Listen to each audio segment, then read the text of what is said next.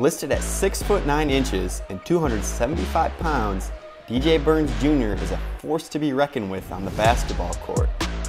He made noise for the North Carolina State Wolfpack this past March as NC State went on a magical run from winning the ACC tournament to making the Final Four in Phoenix, Arizona. But before that happened, let's take it back to high school. DJ Burns Jr. went to York Preparatory Academy in Rock Hill, South Carolina for three years. Originally a member of the 2019 class, he graduated early in 2018. According to 24-7 Sports, DJ was the number 3 ranked player in South Carolina for said 2018 class. Overall, 24-7 Sports had him ranked as the 108th ranked player. ESPN had him as high as the number 82 ranked player. Now the first time I saw him play was his sophomore year going into junior year on the AAU circuit with Team United out of North Carolina. Sitting there courtside were Scottie Pippen Sr. and Kenyon Martin Sr. So if they say they knew about DJ Burns before everyone else did, you best believe them. And then, during the following school year, I didn't even realize it till after the fact, but I saw him play Coby White and Greenfield School in person. His junior year out of high school, he finished with 21 Division I offers, including LSU, Auburn, and Tennessee, where he would ultimately commit to for his freshman year of college. In DJ's three seasons of playing varsity ball, he scored over a 1,000 points and pulled down over a 1,000 rebounds. Just check out the highlights.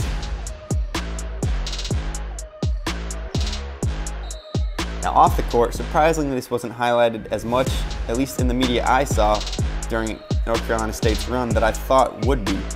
DJ is a very musical person. In high school, he knew how to play the tuba, piano, and saxophone. But back to basketball. In 8th grade, Burns Jr. picked up his first Division I offer to Winthrop University in Rock Hill, South Carolina, the same location as his high school. This is something to pay attention to. At age 15, he was 6 foot 8 inches, eventually topping out at 6'9 when he finished high school. After his junior season at York Prep Academy, that's when DJ ended up reclassifying. June 1st, 2018, just days after his high school graduation, he committed and shortly signed to the University of Tennessee. DJ did see action in his freshman year scoring in Tennessee's exhibition contest against Tusculum, but ended up redshirting thus not playing throughout the 2018-19 season. In July of 2019, he entered the transfer portal and came back home to Winthrop University. Winthrop is where his career took off, scoring over 1,000 points and pulling down 350 rebounds. He made the All-Big South second team once, and then the first team, including being named Big South Conference Player of the Year his final year. We all saw him during NC State's run. DJ made over $100,000 in endorsements during that time period. Shout out to Jay LaFrench and Cronkite News for the tidbit. DJ is currently on the Cleveland Cavaliers Summer League roster in the 2024 Summer League in Las Vegas. We wish him the best of luck in his career wherever it takes him. Thanks for watching.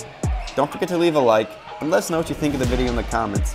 As always, live in the gym and get results.